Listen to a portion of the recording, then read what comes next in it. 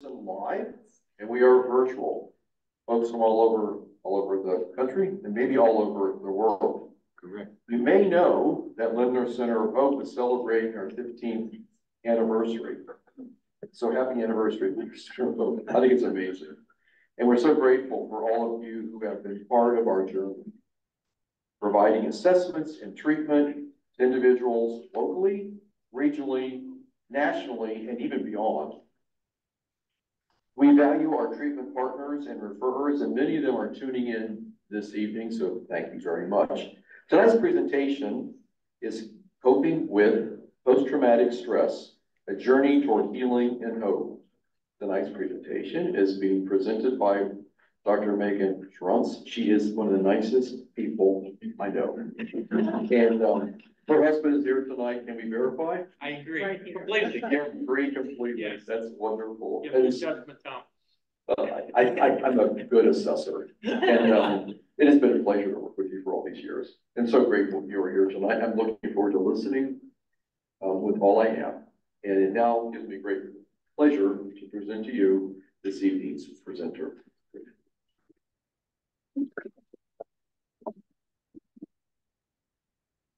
Hi, everybody. Um, I'm gonna be using this microphone and sometimes I will take it out and walk around. I'm kind of a mover.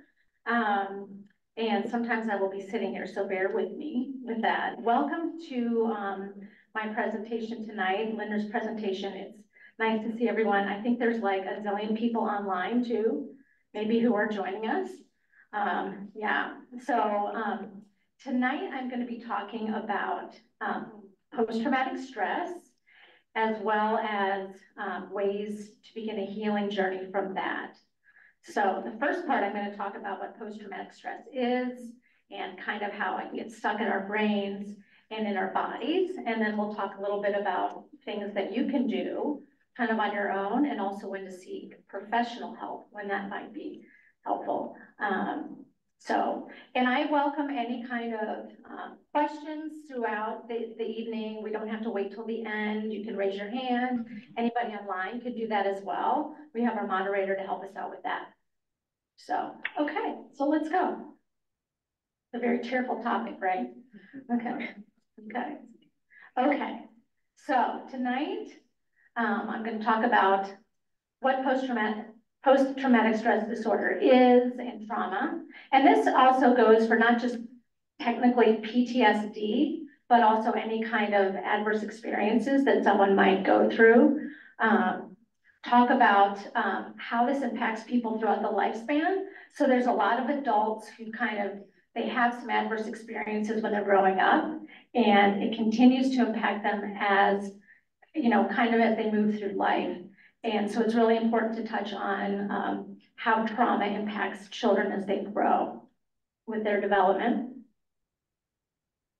We'll talk a little bit about understanding what a traumatized brain does that can be a little different from a person who hasn't been through those things and discover opportunities for healing.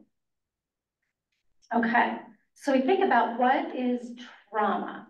So this is kind of a word that people sort of use a lot, like, oh, this was traumatizing and all that kind of stuff. When we think about um, the kind of trauma that really impacts a person, it is when someone really feels like they have been threatened or actually hurt, um, or they have witnessed something bad happening to somebody else. So some of them are, are really obvious, like um, physical abuse, sexual assault, um, growing up with um, domestic violence in the home and things like that. Um, right now, we have things like school violence is very, um, that, that's become very much a thing that, that we have had to deal with. Um, so we think about school violence, um, accidents. Sometimes um, there's other things that people go through that we don't even think about, like natural disasters, like tornadoes, hurricanes, storms. Um, people who have been involved in war-torn countries, veterans. Um, so it's a sense of really feeling like your life has changed based on not feeling as safe, not feeling like you have as much control, and also feeling um, kind of like damaged by what happened to you, even though you move on. Anytime anybody has a question, just raise your hand. So trauma does not have to be these things. Trauma can also be kind of insidious and chronic. Think about, um, like growing up in an area that just has danger all around, um, where there might be crime around or just, um, insecurity in the home, um, poverty, um, not stable parents, things like that. So sometimes it doesn't, you don't have to say, well, this one thing happened to me. Trauma can also mean ongoing experiences that a person has that change how they see themselves in the world. Okay, so post-traumatic, post-traumatic stress disorder is actually, it's, it's a pretty high level of trauma. But for anybody who comes to this, like, I, I just want to explain that it doesn't have to be this severe to actually suffer from having, um, trauma in your life. But when you think about post-traumatic stress, um, think about, um, recurrent involuntary memories. So kind of like intrusive memories, intrusive thoughts, sometimes to the point where they're like flashbacks, which is like feeling like you're there, like it's happening again. Um, trying to avoid things that remind you of what happened.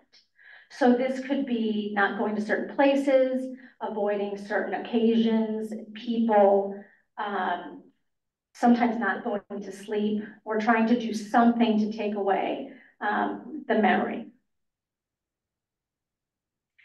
Um, adverse experiences can really change how we see ourselves and the world. So um, we might have negative self-beliefs, such as um, feeling responsible or feeling hurt, like, like you're um, never going to get better, having guilt, having shame, um, not being able to trust people. Those are examples of maybe how your view of yourself and others has changed. So that really impacts how a person um, just interacts with the whole world. Um, does anybody here um, like work in a school or work with kids are just like, okay, okay. Um, so feel free to jump in um, at any at any time. Um, um, can especially um, like you can see this very much in children uh, with their difficulty um, trusting adult other adults and things like that. But that can even be us as adults. Yeah, not being able to trust um, things that seem like they should be normal sometimes seem like they're threatening.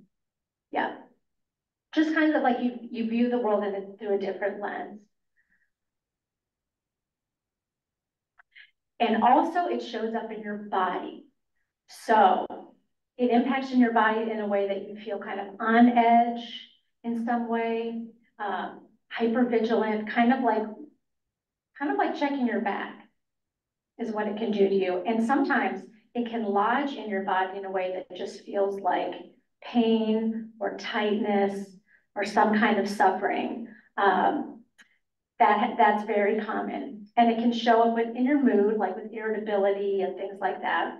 Sometimes people who have suffered adverse experiences do some kind of wacky things. They might do some reckless things um, because they are just kind of on edge all the time and they are seeking some way to change that or feel better.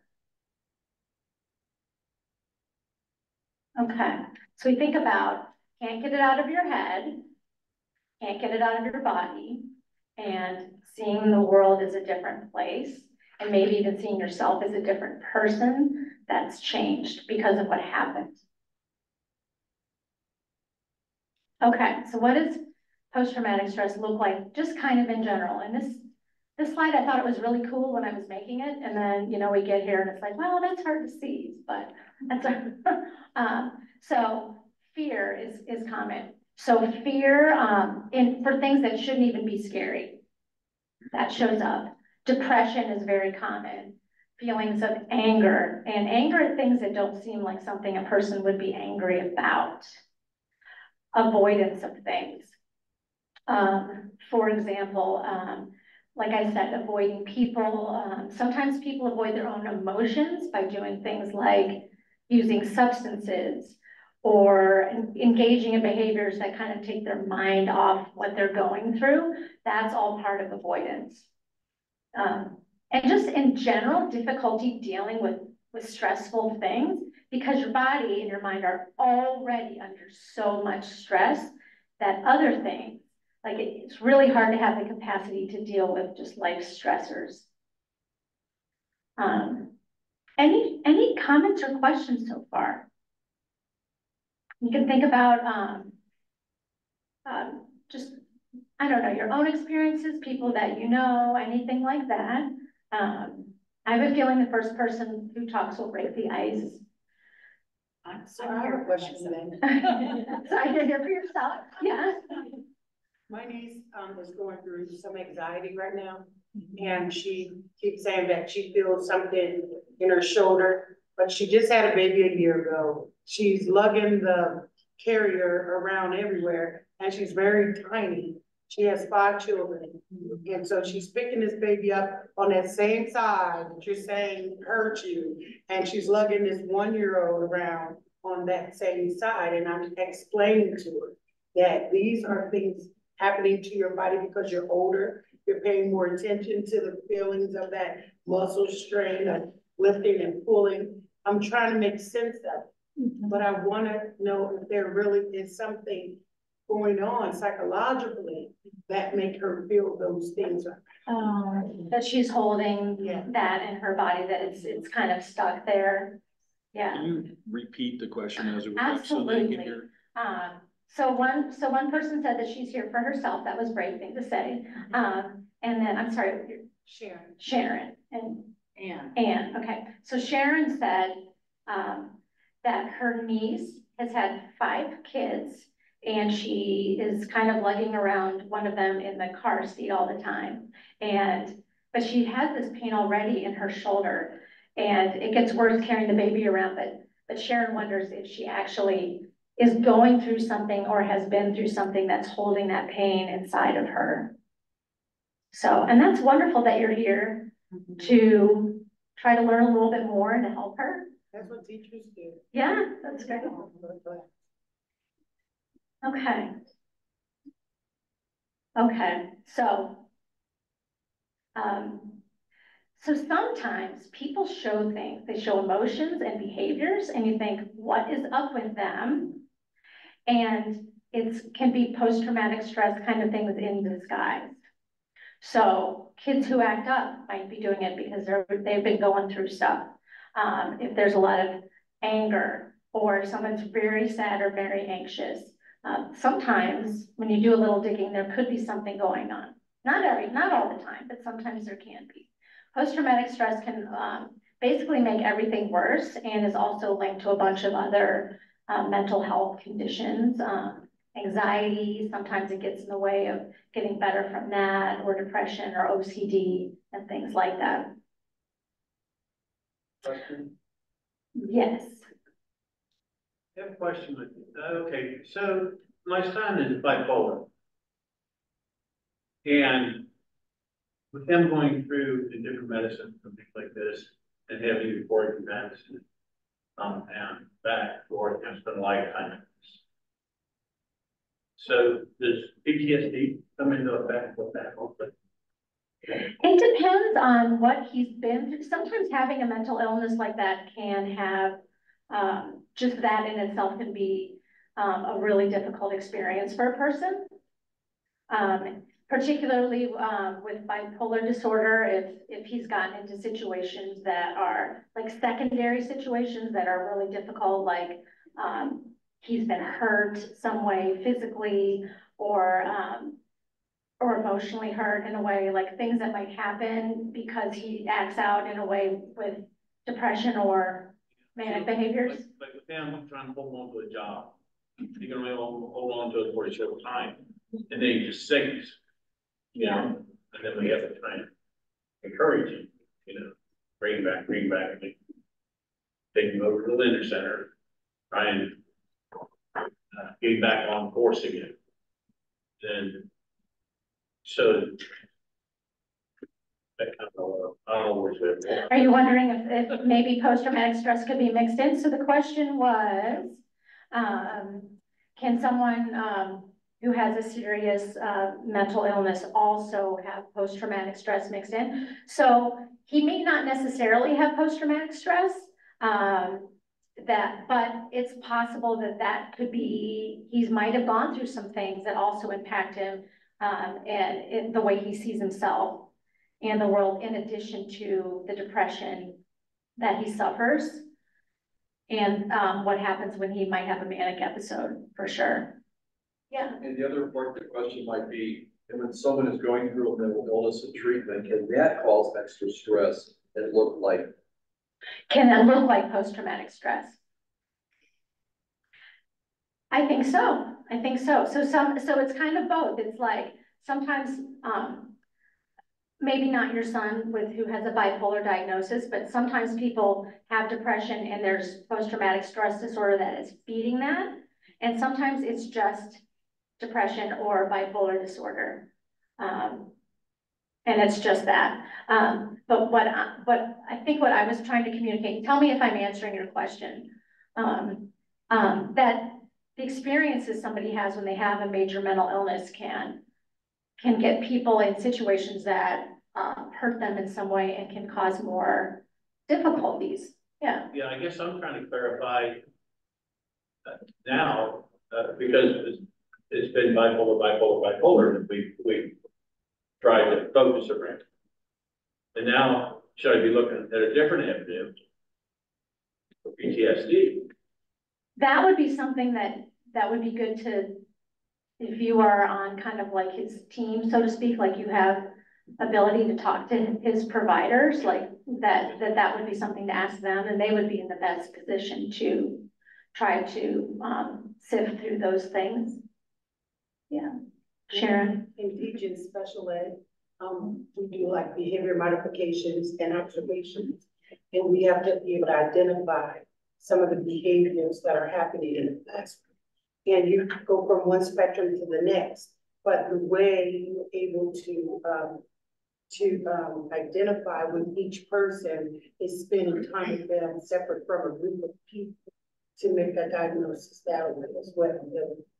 Uh, extra help is needed, it can provide it at, uh, the school level because you're actually by involved in school.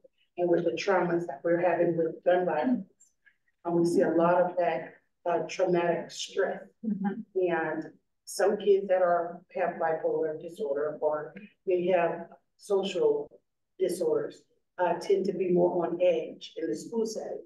So when would it be okay to send them to a, place like the London Center or, uh, Children's Hospital? Because a lot of my kids are underage, go to the Lenders, Lenders. That is a good question, uh, and I'm gonna address that at the end, but I might as well address it now.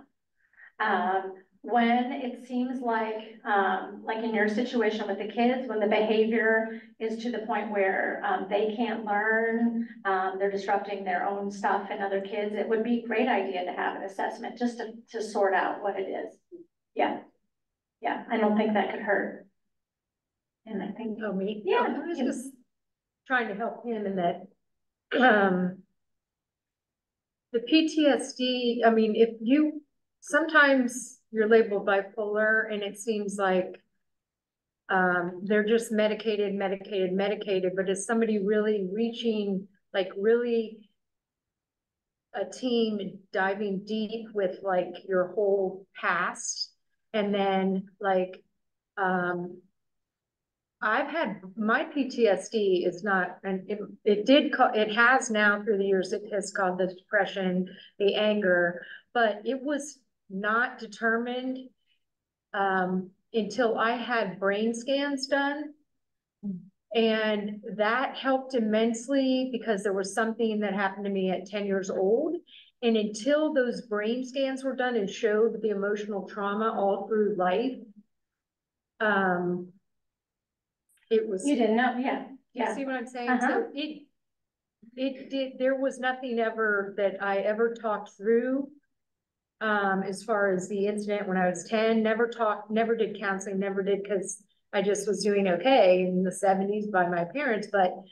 Until somebody, um, a, um, internist doctor and his therapist did brain scans and it showed um, why I could have had these two really bad bouts with depression and landed in Lindner Center.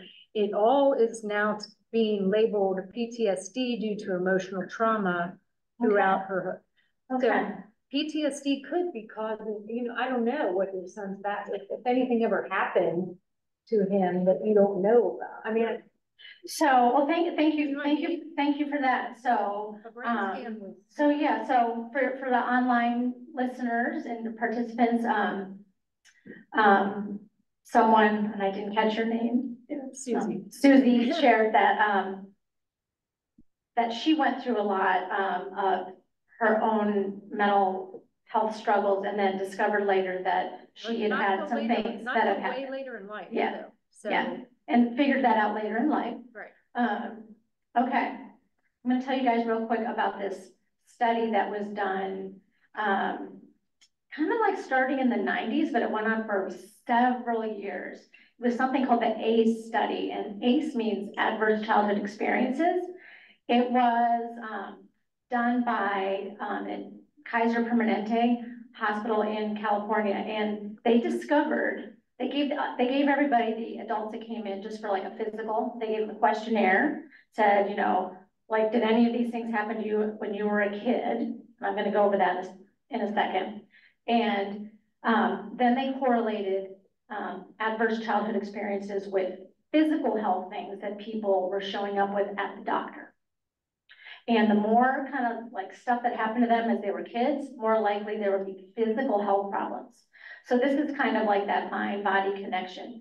Um, so the ACEs were things like, these were the questions that they asked people about, like if they had emotional, physical, or sexual abuse as a child, um, if their mother was treated violently, if there was substance abuse in the home, or anybody in the house went to jail, got involved with legal stuff, maybe, um, if there was a mentally ill parent, um, or if there was neglect in the home, emotional neglect or physical neglect in the home. And so, um, the more the adults, um, endorse these things and the more physical stuff they actually suffered from, um, is correlated. Um, okay, here's some of the things that happen, um, to kids when they're growing up and they have trauma, like what actually happens during their development. Have you guys heard of this idea that trauma actually impacts how brains develop and things like that? Okay, and they're even talking about, um, that traumatic experiences can even impact the development of, of a fetus as well. Okay, which is kind of like mind blowing if you think about it. Um, so these are the things, these are the areas that get impacted.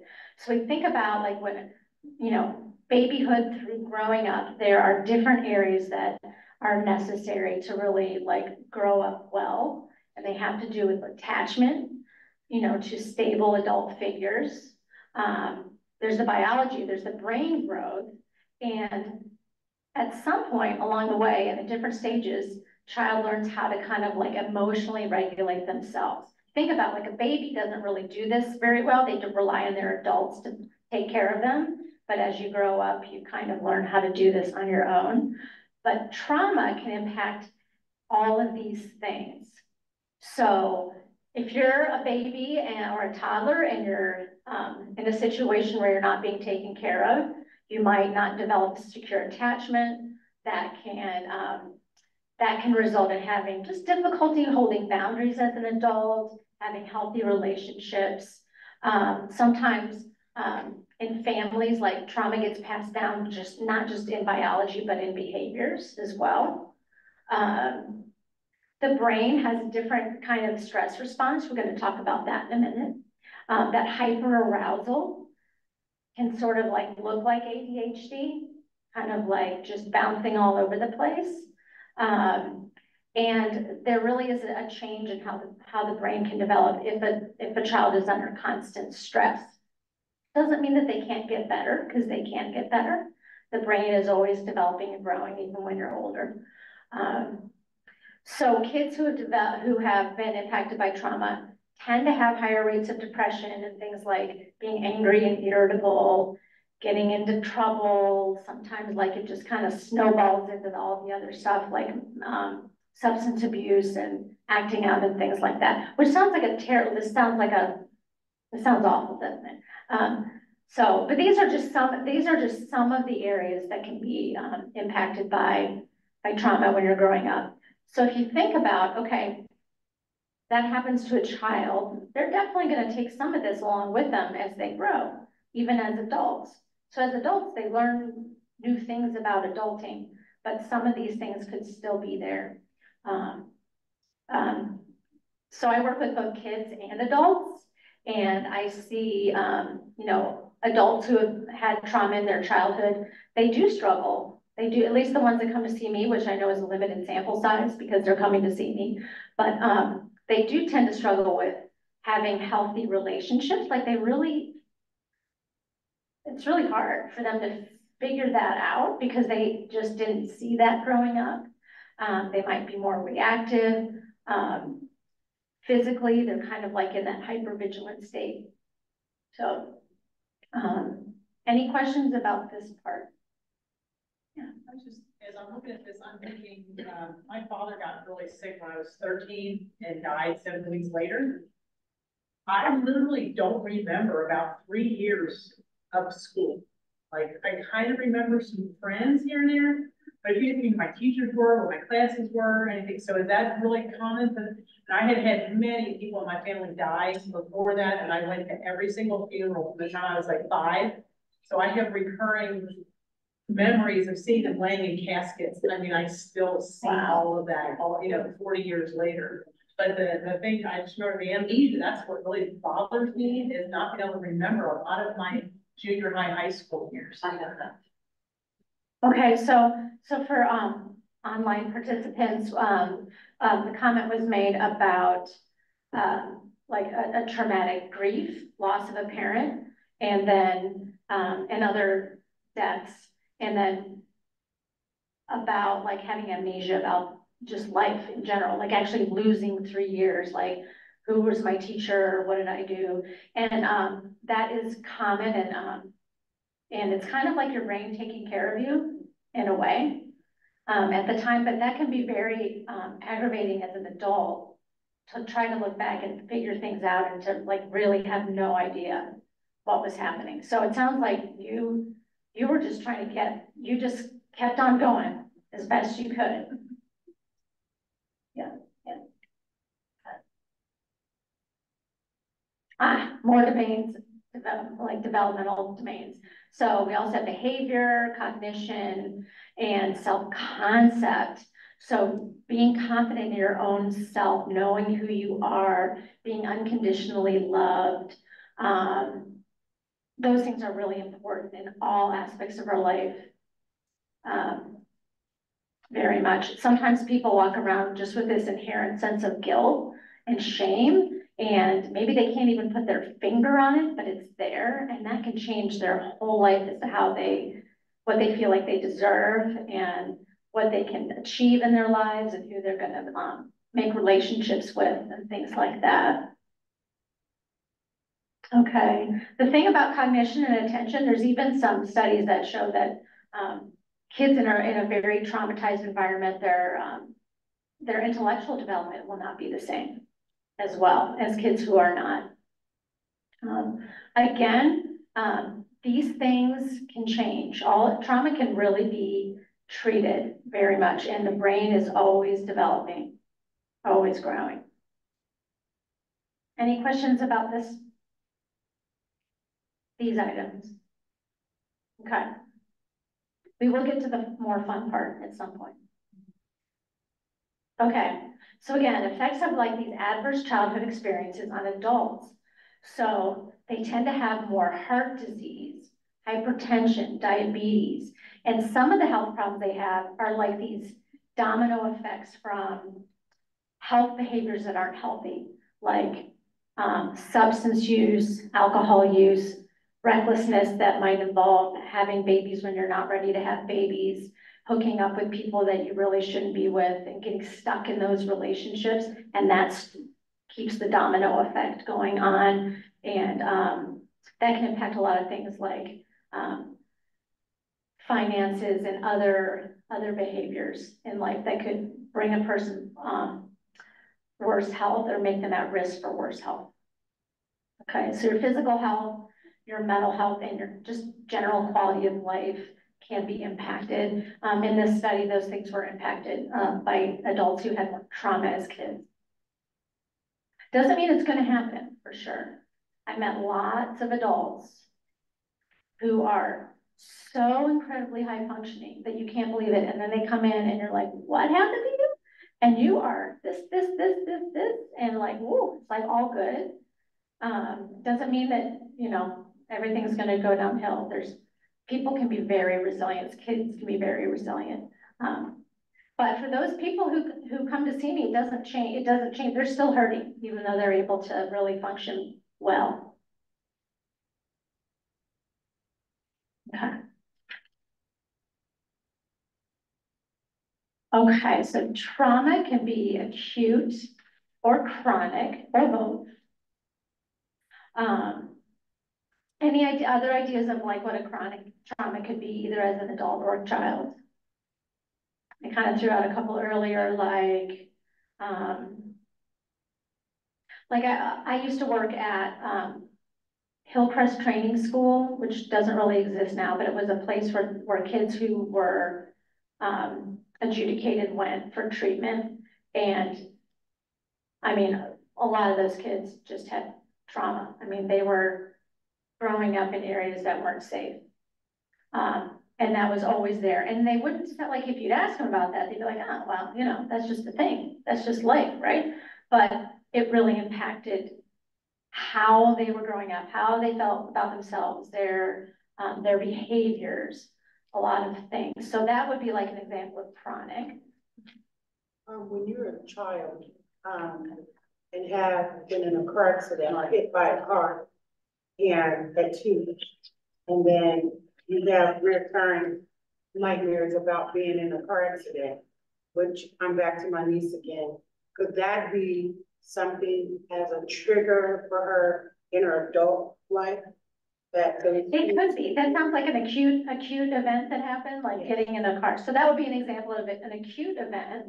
She got in a car accident at, at age two and then it, it kind of comes back or she has dreams and she remembers it. Yeah. Yeah. Okay. Um, Just to complete the circle. Jim, is it?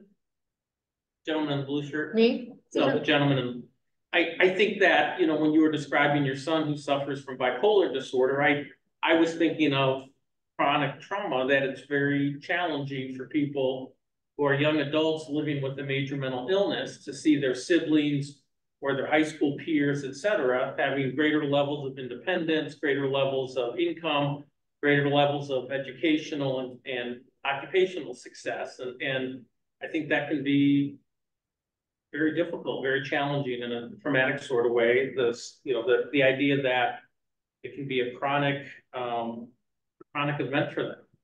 Yeah, one thing it has it has affected the entire family, Yeah, yeah, Oh, because it's siblings or it's friends, whatever, it's, including myself. yeah, it's, yeah, so. Uh, it's how, it, it's, it's the continual battle to, um, keep ourselves healthy. Because when this happens, we all sing. And it's, yeah, so. So I want to raise my hand too, because exactly, Jim, is that right? That's exactly what we are facing as a family right now. And I had some trauma earlier as well, but our whole, our whole family is now, Jill and I are married. And, and, and what you said is, that's why I wanted to interject, because that's exactly the thing. What do you do when it impacts everyone? You don't really know what to do. You're just in this mire, right? You're just kind of stuck. And it's hard to get out of that every time it happens, whatever episode it is.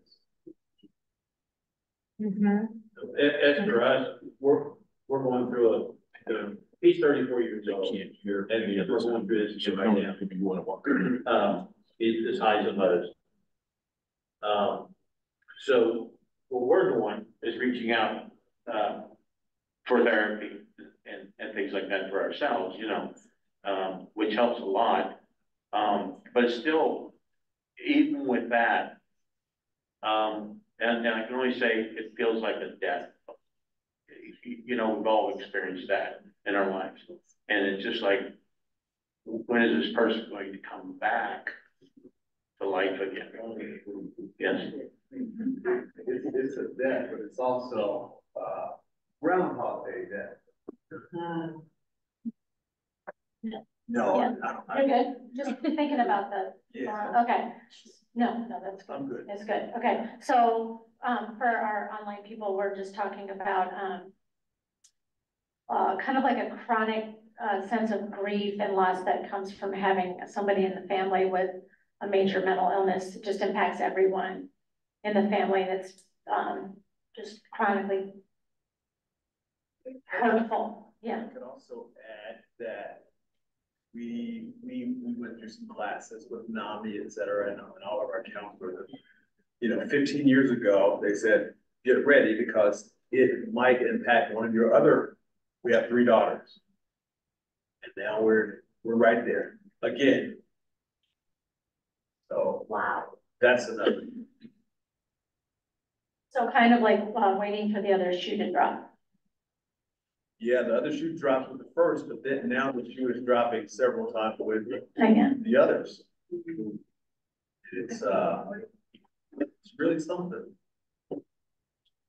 this is a, a, a, like a, a, an example of like how, even if it's not yourself in particular, if it's happening to somebody you love and impacts, it's your family, how difficult it can be. Which is its own trauma. Yeah, I think, I think one of, the one, of- oh, go ahead, sorry. that's good, go I think one of, one of the toughest things, uh, my wife and I, we've been married forty-two years, forty-three years. And it's that, it's that highs and highs and lows that we go through, uh, in the isolation. Where we just completely shut down from each other. And, and we're constantly trying to find that, how, how to reconnect. Because sometimes it's better just to be by yourself, but then that's not good either. Um, like I say, the when it's the good times, you, you know, everything's going along, he's working, things like that. But when all heck breaks loose, I mean, you really, you really suffer that, and, I mean, I know, thank good Lord we stay together, but it's that isolation part that really hurts. So connection helps, um, manage these kinds of situations. It, it's really like it's important, really is important. Okay, I think I had another comment. Okay, do the microphone. Um, I also wanted to bring it similar to the mental. Um, I personally am battling cancer right now. And so seeing, um, just knowing how mentally I have changed overnight, the minute they told me if my cancer was back. And that fear every single time I have to have a scan, is it gonna be worse? Is it gonna be better? Is there an answer for it? But then to see how it affects the whole family here again, them not knowing, they're not in, in the room with me when they hear the doctor, you know, and all this. And so I have to come back and interpret, you know, and try to be positive and even if it's not good sometimes. Um, but there's so much of the physical illness now, especially now, um, that people are going through that can you, from having a, a chronic physical illness, PTSD is like, cause I remember just literally being in the pit immediately, the minute they said it. Um, so I didn't know if that was just something that, yeah, or was that for you? No, uh, no, absolutely, um, having a chronic physical illness or, or sounds like, uh, with cancer, like it was there, it was treated and then it came back, so there's that, oh no, it's happening again, like what's gonna happen, so that sense of fear. Fear the unknown, and, um, one thing about post-traumatic stress that I'm gonna get to is there's this, um, there's this really raw sense of, um, now feels just like then. Um, and, and in your situation, it might be very similar. It sounds like it, it's a very similar situation. Um, but people who have been through really bad things, um, sometimes get themselves in a situation where something may seem like like, okay, I've been through this before, this is gonna be just as bad as it was. Um, and again, your situation could be different, but, um, and it's really not, so like, things that are not really threatening feel really, really threatening. And it's that uncertainty of not knowing, how is this gonna work out? Is this gonna be like that? What can I do? I have to figure out a way to make it better. Um, I don't know what to do. Um, there's that, that sense. That's really important. Um. Okay, so acute and chronic, sometimes people kind of forget about the chronic everyday things, but those are real. Okay, so what is going on that trauma can really do this? So this is kind of like what can it do to a person's brain? So it, what it ends up doing is it kind of deactivates the parts that you need and mm-hmm. overactivates the parts that you don't really need. And your brain does this kind of like in this reaction to keep you safe or what it's thinking that you need to be safe. And when the trauma is actually going on, you, like the actual event, like you, you probably need these things, but when there's like a chronic trauma, or maybe the trauma has passed, and there might be some reminders of the trauma, but it's not really there, your brain's still pretending that it's there. And it's responding in this way. And so this is real. This is the real, um, how it really impacts your body. So, so like this prefrontal cortex, the part of your brain that's kind of like the, I don't know, like the computer rational part of your brain. Um, when you are emotionally flooded, that part doesn't really work as well. And we can all attest to this, right? Like in situations where we got carried away in some kind of an emotion, whether it's, you know, positive or negative, and we were like, didn't think something through. Um, so this happens in, a, in somebody's brain when they're experiencing post-traumatic stress. It's really hard to think rationally. So this impacts just everything. It impacts like how you interpret things in your life. It impacts maybe decisions you make. Uh, it's really hard. Is I mean, and it's real.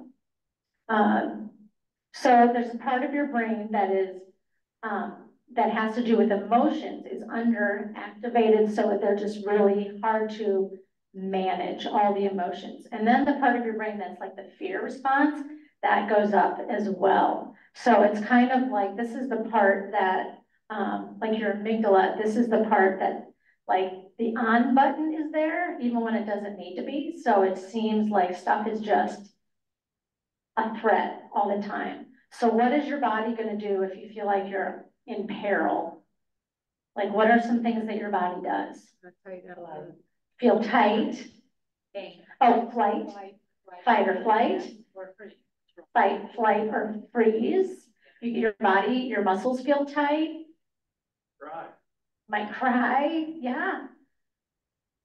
Um, your heart races.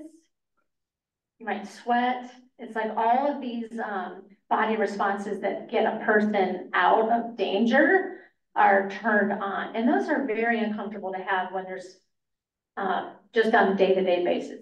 Very uncomfortable to have those things. Okay, so in your brain, it impacts your thinking. Makes it so you can't think as rationally, and it overactivates your fear, and it also makes it so that you're flooded with emotions, and that's really hard to manage. So that's what's going on in a person's brain. Any, uh, any questions about that or comments?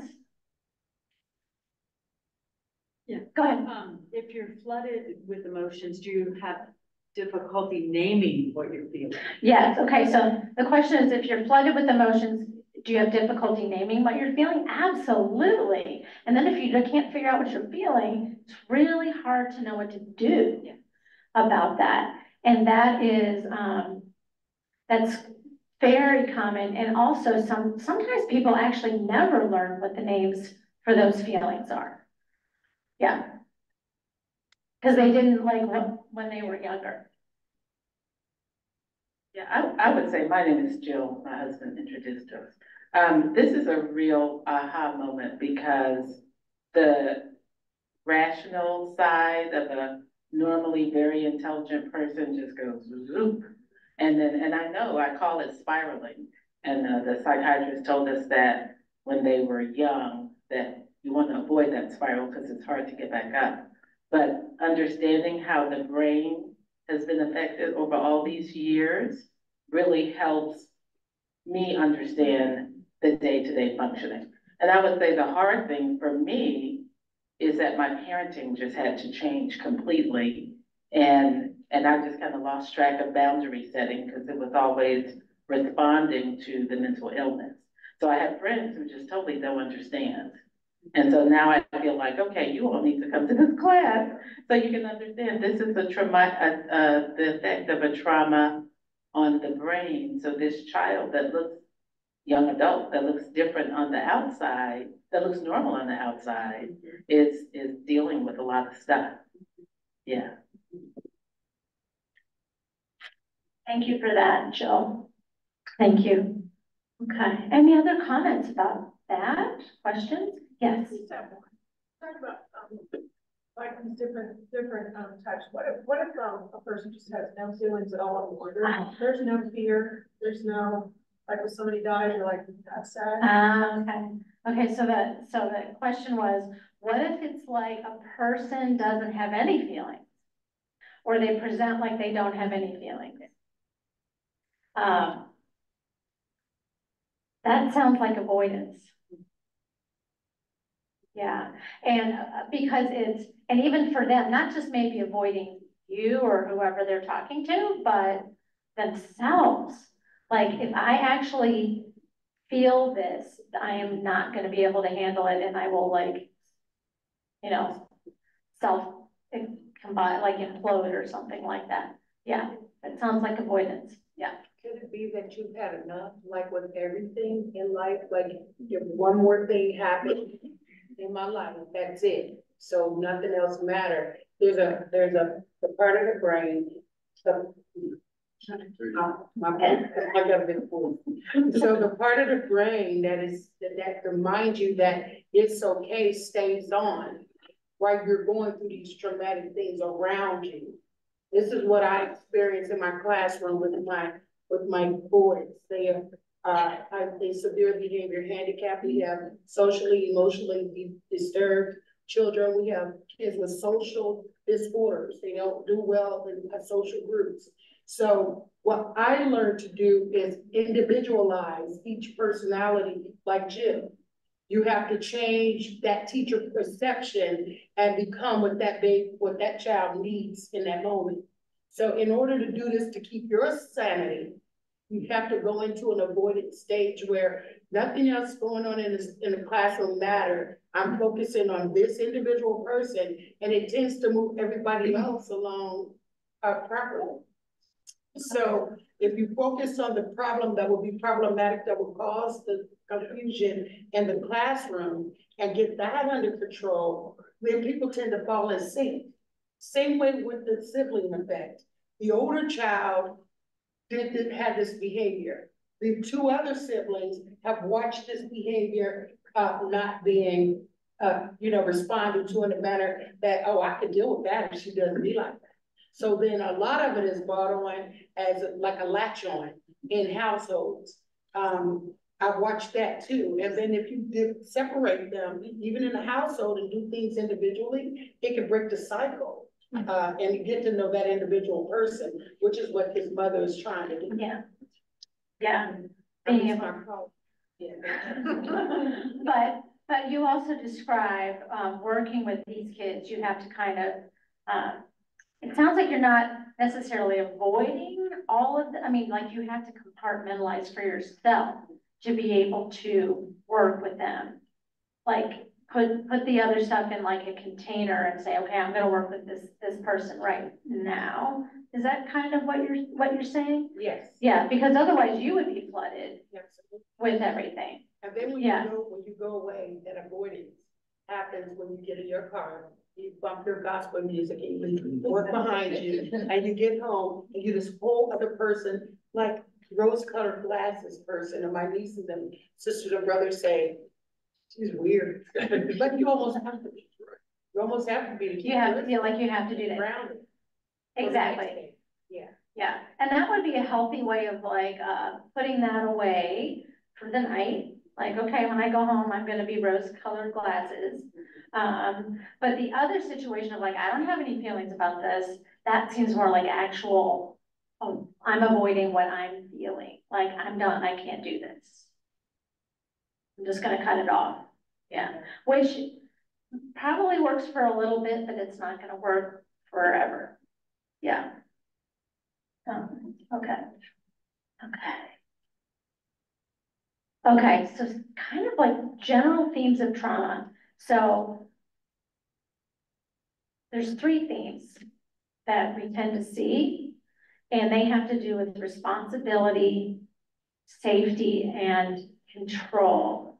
So generally, if something bad has happened to a person or an ongoing thing, um, sometimes a person can feel all these things.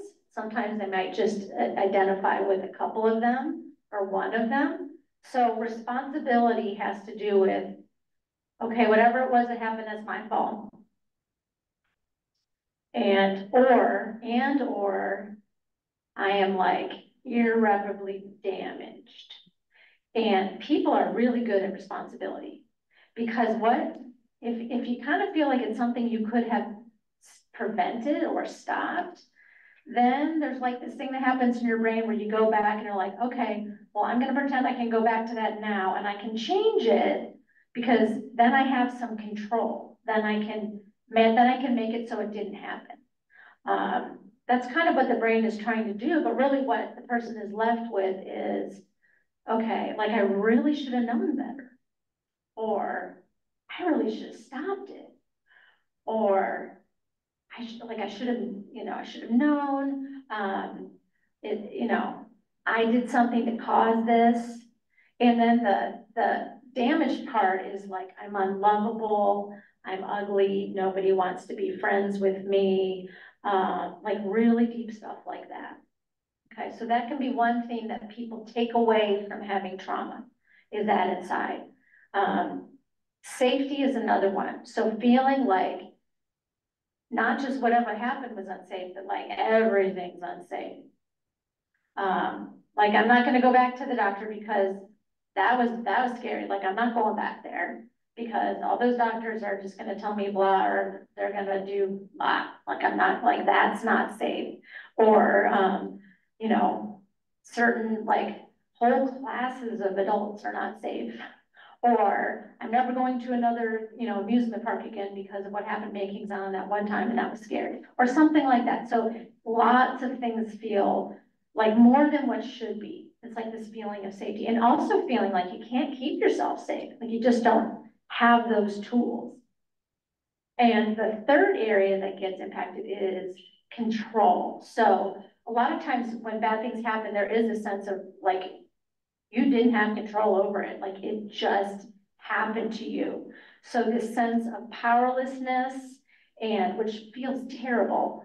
And so how this might show up just later in life is just, if you feel kind of helpless with something really bad that happened to you, you might start acting like that, not really on purpose, but it just kind of like feeling like that about like other things in your life, like not being able to, um, manage things, like maybe a person who didn't feel so out of control or helpless with bad things, um, that happened to them. And not even really wanting to be that way, just that sometimes that will happen. So a sense of like, um, I was like this thing happened and I couldn't control it. Um, so that is an issue for me. So maybe it's over, maybe it shows up as over control. You know, like it shows up like I have to have things a certain way and if they don't, I'm gonna flip out because that's just something that makes me feel better because it's something that I went through. So, um, so if you think about, um, um, I don't know, people, your loved ones or yourself or anyone that you know, these are three areas that are opportunities really for for moving forward. Like if you can identify them in yourself, that it can be, it can be seen as an opportunity. So let's talk more about healing. Healing, um, from trauma. So I like this question. So a lot of times when something bad happens, people will say, what's wrong with you? Like, why are you doing this? Why are you acting like this? Why can't you get it together? Or, you know, whatever. The better question is, what happened to you? And if you're curious, if you are a curious person and you are talking to someone, like that is the better thing to say, really is not to what's wrong with you, but what happened to you. It's really important because that, that helps with that responsibility aspect. People who have been through things already probably feel like something's wrong with them. Because something happened to them. Yeah, Excuse me. yeah. I want to sure. say, I was special ed in school. And I never could understand how I ended up in a special ed classroom. But the whole time, it was circumstances in the home, like not having food, not having uh, proper clothes to wear. Don't want to go to school because you're bullied or picked on. So those, those kind of behaviors kind of was like the teacher would say, read. I don't feel like reading. I'm starving. I'm trying to just get through the day so that lunch can come because you don't get to eat at home. And usually lunch is the only time that you get to eat at school. So I took all of the baggage of coming up in a special ed class and getting an understanding of policies that need to be changed. And by the eleventh grade, I was uh, called, uh, changing policies and procedures and getting inclusion programs uh, involved because teaching us on the same level I knew going in there that I was in college prep classes, but I was depreciating in the classroom being taught on the same level with kids with learning disabilities. So I'm saying all of this to say that had, had ignited the fight in me to get involved on the school level so that I could go in and pinpoint behaviors based on whether the kid is bad at home or situation is bad at home. Going to do home visits and then taking care of that kid in my classroom, so that isn't a problem. So if they come to school earlier, I do hair, put them on my perfume, sit them down in the classroom, clean them up with Walmart, uh, uniforms. And then when the other kids come in, they're not tapping. Everybody smell good, everybody look good, so everybody can work. So they went in accelerated classes. You have to be victimized and then not allow it to hold you as a victim, but do something in its place to build you in a place to, well, this won't happen in my, on my watch. So I went back to where I was. How wonderful that, that you, you were, you, I mean, you, you really made an impact even in, when you were still in school, like in high school, that is remarkable. Um, but so what, what you're saying that when you were a lot younger and you were in those special ed classes, people were like, okay, what's, what is wrong with you? But it's really what was happening to you in your life. You didn't have those re, like those basic resources and necessities that you needed to, to really be yourself. So In then as school, an adult, I became a resource agent, so that all those programs that didn't work for my mom, I became a resource, a referral agent to make sure kids have beds, have food, have clothing, you know, in my adult life. So a lot of times being traumatized as a kid puts you in an arena where how can I help? You, you ever watch, um, the new Amsterdam? How can I help? That's the new question is, how can I help? And then you put yourself out there to be that help for the next person that's going through traumas or dealing with it in their home. It takes a special kind of teacher to do that kind of. Yeah, yeah. work. So like really making lemonade out of lemons, like what happened, yes, yeah, in a very intentional, meaningful way. That's helped others. So, so if you ask the question, what happened to you? Isn't that gonna make somebody feel guilty that they've got PTSD? So how do you heal? It's more, it's more like the, um, so the question is about like what happened to you could that kind of put somebody in the spot or make them feel worse. And so not a question for like casual conversation. It's, it's more like a mindset. It really is a mindset, like instead of thinking about a, a person like, what is wrong with you? It's more like, wow, something must have happened to this person. I wonder what that was, like, I wonder what they've experienced or what they're dealing with. It really is more of a mindset. Um, um, I, I see what you're saying. If you ask in a certain way, it could sound like an accusation. But it's really more about like having, um, a curious mindset. Yeah, cause I, Yeah. I mean, if you go, what's wrong with you? What happened to you? That like, I don't know what happened. to you. I went through this, uh, growing up in this bad situation or whatever. You know, and they feel guilty about that, does that second? Well, But it's a mindset that we have to yeah, it's more of your mind, it's more of a person's mindset, concern, so that's where the mindset. Mhm, more of a mindset, Okay. yeah. Okay, so people, like, like all the responses that we have when we've been through trauma, like, people tend to feel bad about that. But really, that's normal. The stuff that happened was the abnormal stuff, not the person who's going through it. And that's the other part that people get confused, they're like, oh my gosh, I'm doing all this stuff, I must be terrible. No, that's normal, what happened to you is not normal. Okay, so this is like a, um, so that, that mindset is an opportunity for self-compassion and for self-understanding and insight. Okay, hold on. Wow. Did I just accidentally turn this off? What happened to it? What happened? It's better. Oh, yeah, we're good. Okay. What happened to you? Okay. Okay, um, You traumatized me, I was gonna help. Okay, some, some more opportunities for healing. So one thing that can be, um, if you feel like you're going through it or something's going on, one thing to be mindful of are just, okay, what are my trauma reminders or my triggers? Like what is pushing my button? Um, so they, this word trigger is used a lot. I know, like this triggers me, that triggers me, blah, blah, blah, triggers. So I like to actually use the word trauma reminder or those two words together. Um, and trauma reminders can crop up and they usually cause like a physical response in a person. Could be that tension, tightness, fast heartbeat, sick to your stomach, want to run away, um, frozen, something like that. Um, so just being aware of what those things are can be really helpful. Um, putting yourself where you know that you are going to be reminded of a trauma, unless you really have to go there, it's part of your daily life, it's not necessarily the best thing. You don't have to like, um, expose yourself to that if you don't really need to. Like, it's actually okay not to see a certain person if you don't have to, if they remind you.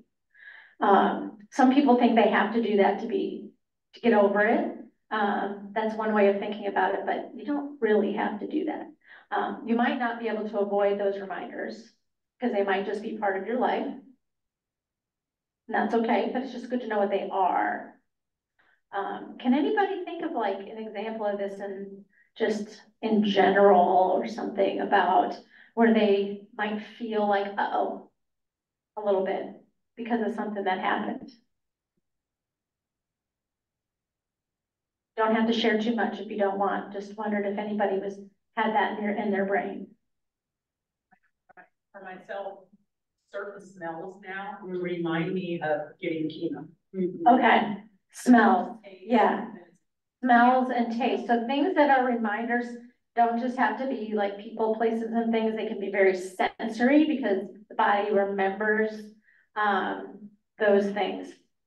Smells, tastes, um, things like that. Yeah. Thank you. Okay, so identify maybe what some of your reminders are and pay attention to that. And pay attention without judging it. Here's the thing. This is, can be tricky, is um, noticing that it's happening without having to figure it out like fully, or to say it's bad or terrible, or I'm, this is doom and gloom, like not actually having to do anything about it, just paying attention. So I'm remembering another training, and maybe you did this training, but the expression, so I was just, maybe you taught me this before. So when it happened, you say, oh, I know what this is. Yeah. Just, I know. Instead of not knowing, you, you just, I know, I don't do anything with it, but I know what this is. Okay. I know. Mhm. I can get through it. I know. Yeah, so the way Tom was saying, the way Tom was saying that was like, okay, I know, like he wasn't saying that it was, he wasn't really labeling it as, um, anything good, bad, or otherwise. He was just saying, okay, I, I, this is what that is. Um, okay, Is that like being there, like you had anxiety before, and then it comes back on you at a later time and a couple months later, it comes on you again, and you remember that it did pass. Yeah, like, okay, I, I remember last time I had the same feeling and, oh yeah, passed, okay, so I'm just, I'm having that again. Mhm. Yeah, I did. yeah. Acknowledge it. I'm just acknowledging that it's there. Mhm. So listen to your mind and your body. It'll show up in your body. Any kind of like reminder that you have will show up somewhere. So this is just checking in with yourself and just acknowledging what's going on without catastrophizing. Have I been here before? And then remember then versus now. Um, so a lot of times we, we, the threat part of our brain thinks that right now is exactly like how it was. Um, and just calling that out can be really helpful in, um, being able to think rationally about it. Sometimes then is now, right? Like sometimes you do go through the same thing again. Um, but this, this idea can be really helpful if, if like there's a fear response to something that maybe happened before and you're, you're feeling really scared or something and you want to reassure yourself like, okay, this is not then, like it's not, that's not it. Like that person over there who looks like that other person, that's not that guy. Yeah.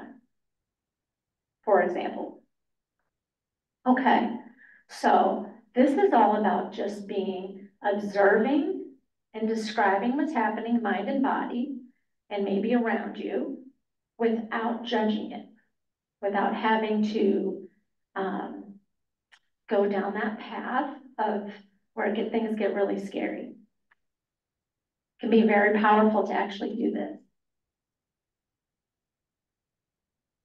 So the body is also a wonderful avenue for healing because trauma is kind of like hangs out in the body.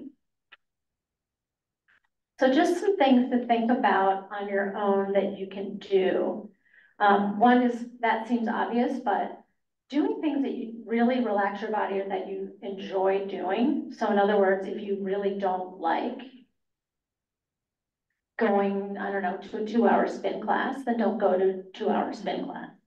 Right? Do, do something else. Um, do something that you like, where you can kind of feel your body move in a way that feels better. Deep breathing can actually work. Does anybody know how that works? It works. Like, I used to try to teach this to like, um, well, sometimes even now when I try to teach it to, to like kids, they'll be like, oh, yeah, I already tried that. That doesn't work. It's Like, what does, even if you don't want it to, because it turns off like this fight or flight thing in your brain. It just like flips on the relaxation response. So that can be really helpful. It, it can give your brain a chance for that, um, that part of your brain that does the rational thinking to kick in. Um, using some safe or calm mental imagery. Um, so this is something that can really be developed. This is, this is not just go to your happy place. This is actually having like something in your mind that you practice and you notice everything about it that feels calm and relaxing, and you have it up here so you can go back. Does anybody have anything like that? Where they've done this? Where they developed like a, a, a mental image of something that feels hundred percent good? And they really get into it in their mind and they're like, okay, this is what it smells like, this is what's going on, this is what I see, hear. Yeah, And prayer. meditation or prayer. This is a little bit different than that. This is like having like just your own place up here. And maybe you find that through meditation or prayer. But yeah, okay. Thank you. Yes, Is that like when you use your senses, like you look for five things, you smell? Yes. Think that five, four, three. mm -hmm. one? Mhm. So like mind, mindful meditation using your senses, like focusing on what you can see, hear, feel, taste and smell. I was taught, um, in that, in that mindset to uh, think of a home, a house, um, built my house and built a porch and with chairs on it overlooking wheat fields and, you know, slow, that would slowly take me into that meditation. But I can't I can't remember the name of it, but that's how I was. Okay, so one way, so one, um, one way to do it is to like build your own house. Well, you see a house. You see a house? That you want to live in or that you Okay. consider safe or pretty or Mhm. want to buy, and then you just slowly put it together. Then when you get it together, then you go to it. Yes, In those times where you need to be calm. okay, so like building like, it's almost like a sacred place for yourself, like it's completely, like you, it looks and you furnish it just like how you want. It's like your own special house, and then you go there. Yeah, that's It's sounds very good. strict to coming back within mindfulness. So, I mean, I understand mindfulness, but, you know, three minutes in, I'm like, ah, I need to do this or. That's okay. We're actually gonna talk more about mindfulness in a minute. Um, yeah, it's easy to get distracted from that. Muscle relaxation is, like, you know, when you lift weights, or if you've ever done anything where you lifted something heavy and your muscle contracts, and then when you put the weight down, it gets relaxed. That's what that means. So it's actually tensing yourself up, like different parts of your body on purpose and letting them go. So you know, your brain learns the difference between tense and relaxed, and then it might be able to do that for you when you need it. Sleep and nutrition, everyone is always talking about sleep and nutrition, right? But it's real. Um, being able to deal with your own emotions and trauma reminders and things like that are done best on if you have enough sleep and just fueling your body for what it needs to do. And, but those things can be impacted by trauma too, right? Like sometimes it's hard to sleep when you're not feeling right. Yeah, yeah, so it's kind of a catch twenty-two.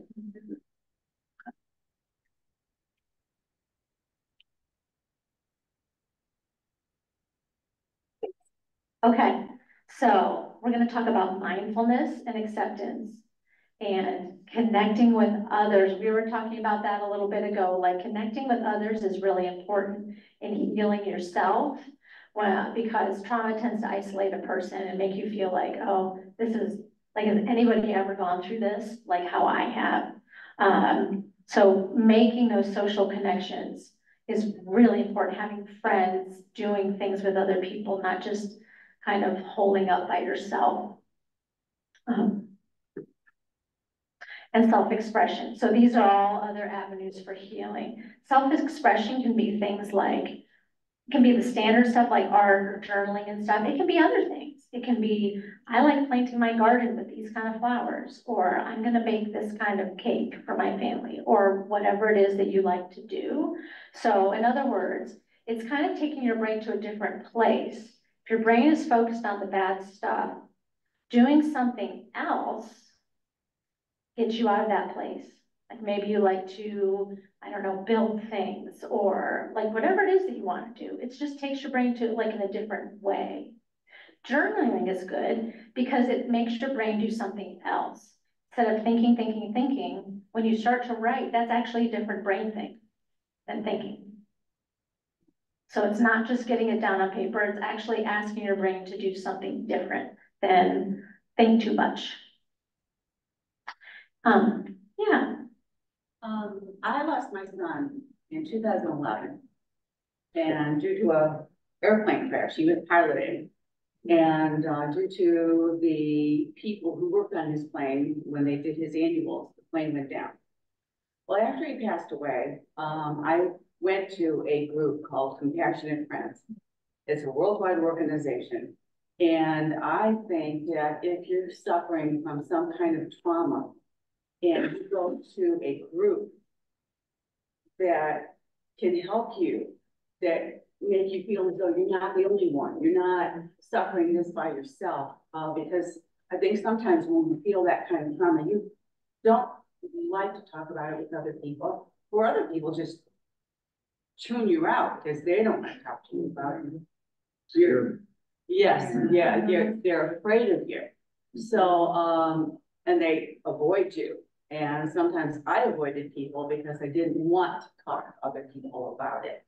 And so, um, I find that Compassionate Friends was a great organization for me. And I think if, if you're suffering from any kind of trauma, if you get into a social group where you can talk about this and, and like counseling kind of thing, that, that helped me a lot.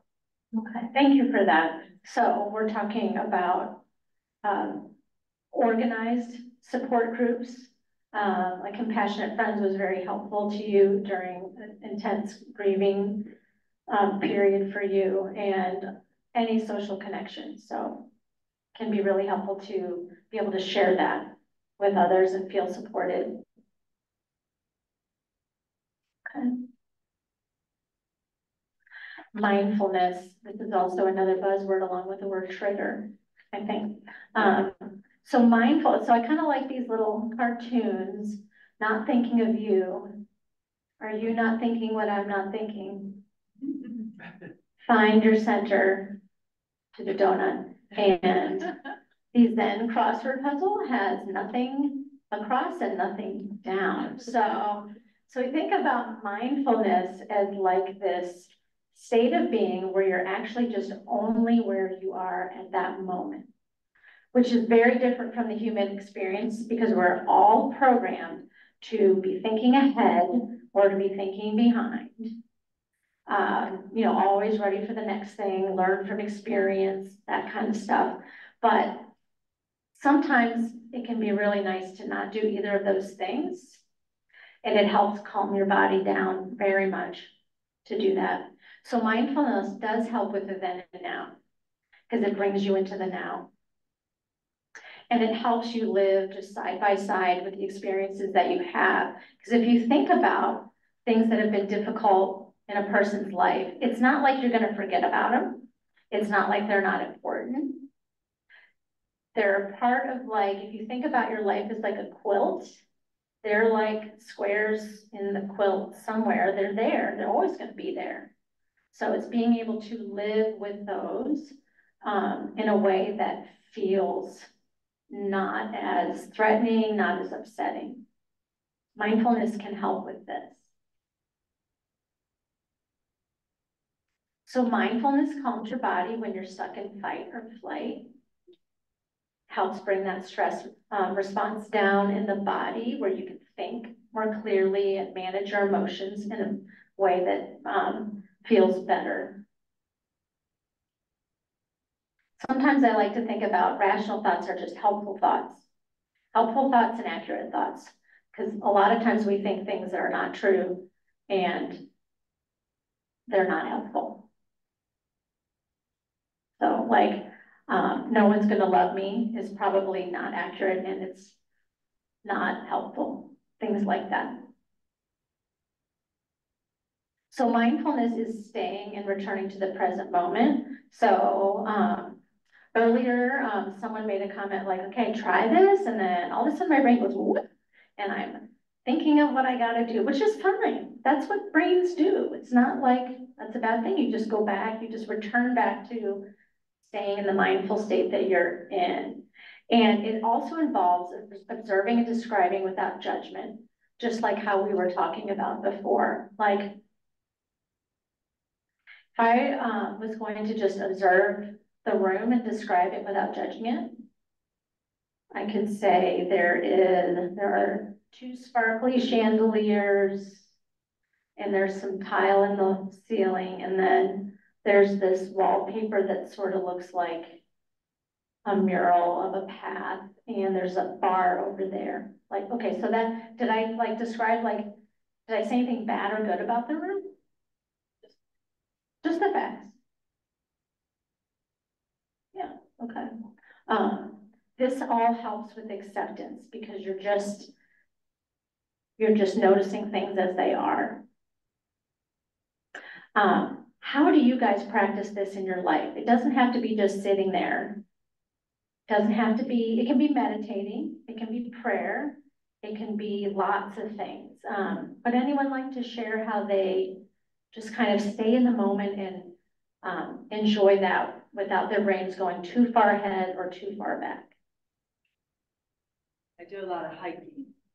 A lot of Hiking. and, and observing what's around me, and then I take pictures, I'm very focused on what, what's, my, I'm listening, I'm looking, I'm touching, you know, so that helps. I guess the other word is grounding, uh, grounding techniques too, to ground yourself when you're in the environment. Okay. Okay, so hiking and really looking at, really looking at nature. And, um, It's not really, And hiking, grounding. I shouldn't say that, I don't we're go, gonna call it hiking. I don't go very far, but I spend a lot of hours doing. it. We can call it hiking. Yoga helps. Yoga. Yeah, yoga helps. Yoga can be wonderful. I do Pilates. Pilates. Yeah, yeah, that's, that's hard, isn't it? It's different than yoga and I like both of them, but it's more core. Yeah, okay. And you really have to, there's like a focus there on just what you're doing. When I Yeah. have trouble, what I find is I'm struggling with the movements and I realize I'm not focusing. And every day is when I pull myself completely into the workout and my mind's not on. Okay, So it really forces me to come out of everything that's crazy. okay, so uh, Pilates, um, for her, she really has to focus on it to make it good. And, or like what seems like a good workout. We're not gonna actually just judge that. That wasn't, I shouldn't have judged that. So you like to focus on your Pilates. And you can actually do that without saying if it's a good workout or a bad workout. Or just breathing. Hi. I've heard that it seems like the buzz yoga is somatic yoga, somatic exercises to release wherever you're holding the tension or trauma. Is that a thing? I, I haven't done that thing, but I'm sure it is a thing. There's things happening all the time, which actually, um, we're, if we have time at the end, we might do not yoga, but something a little similar. Um, actually, we're, we usually end at seven thirty, so we're getting very close. Okay, So I wanna, so we may not get to do that, but we're getting close. Thank you. Thank you, Jen. Okay, so mindfulness is not, like, some people think, like, this isn't really what, like, I'm just distracting myself. No, you're not. You're actually just, you're, you're zoning in, you're not zoning out. It's not really distraction. It actually helps your brain, your brain, um, heal because your brain is plastic. It will change. It kind of reduces that fear in your brain and that can stick. Yeah, there's a lot of helpful benefits to it. Um, it helps with the amygdala, the fear response. It helps, um, you connect with others. It helps you not just react. There's all kinds of benefits to practicing mindfulness and there's lots of ways to do it. Can meditate, you can pray, you can go for a run, you can do yoga, you can do Pilates, you can build a bench, you can, I don't know. You can read a book, you can do whatever you, whatever like keeps you in the present. Okay, so when to seek professional help. So we talked a little bit about this with the kids. Um, so if a person feels really bothered by really intrusive memories, like it's just cropping up, it's like having an intruder come into the house kind of like, you can't stop it from happening. Um, feeling on edge or anxious all the time, having trouble doing daily things like sleeping, being overwhelmed with like, um, negative self-beliefs, like guilt, shame, feeling like isolated or maybe noticing that a person is isolated, um, the avoidance things like alcohol and drug use or, um, things like that. And, um, suicidal thoughts, those are all really good reasons to seek professional help. Some good trauma-focused interventions that you might find out there. Um, trauma-focused cognitive behavioral therapy is, um, a specific therapy for kids, which is really great. Um, it helps kids have different positive beliefs of themselves, about themselves, uh, with the, the trauma that happened. Um, eye movement, desensitization and reprocessing.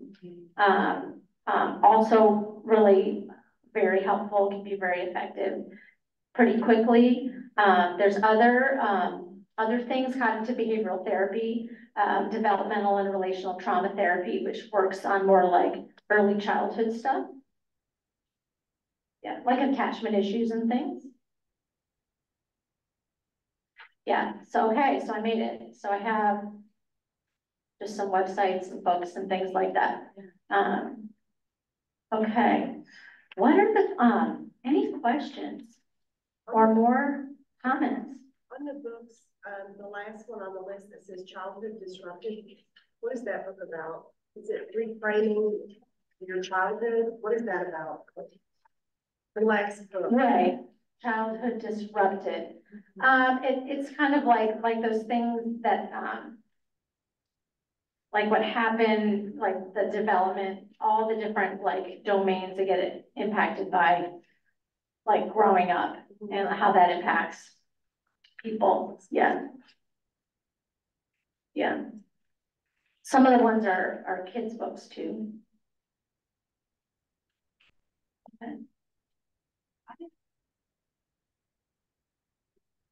You had kind of mentioned it about the exposing yourself to the event. So exposure therapy, I've gone through that and it did not help. Is that, because you, you were kind of intimating. Okay, so exposure therapy, which is slowly um exposing yourself to something That's um, stressful. that's stressful, um, can be, it can be a treatment. Yeah. And that's, it, that aspect is incorporated into other treatments with like telling your story and things like that. But I think what can be um very helpful if that is, was not useful for you, is something that really focuses in on how you see yourself with like the specific trauma that you went through and addressing those themes of responsibility, control, and safety. So it might have to do more with like actually challenging um those negative um self-beliefs and the emotions that go with them. Emotions. Yeah. Yeah. Yeah.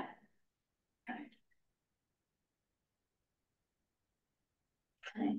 Guys are a wonderful audience. Another question. Okay. My husband grew up in a very dysfunctional family and he has sensory processing disorder. It's not the condition. I think it's due to all the trauma that he's had. Does that happen too? Sensory processing, the loud sounds, the ch- people eating, chewing gum. I can't eat. That- that- I can't use a real spoon. Yeah, I, I don't, that's like a whole other level, isn't it? Like so that's totally mis- misophonia, like when you don't Yes. like it when somebody's chewing or something. Yes. Um, yes, but it very well could have developed from, from his childhood experience. Yes, it is. So, Okay, yeah. okay, thank you. Thank you. So thank you so much, everyone. It was really wonderful. talking with you. And that's it.